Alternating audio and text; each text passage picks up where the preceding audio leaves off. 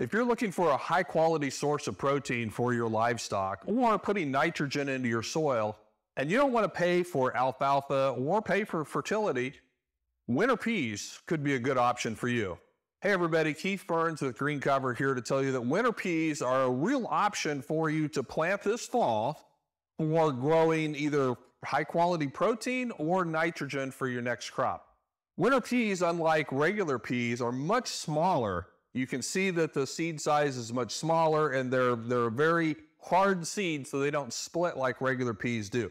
Now to get these to successfully overwinter, we need to have them planted deep. We like to see them planted at least two inches deep, if not three. Now you can still plant that with cereal rye or triticale, and it's a great combination with that.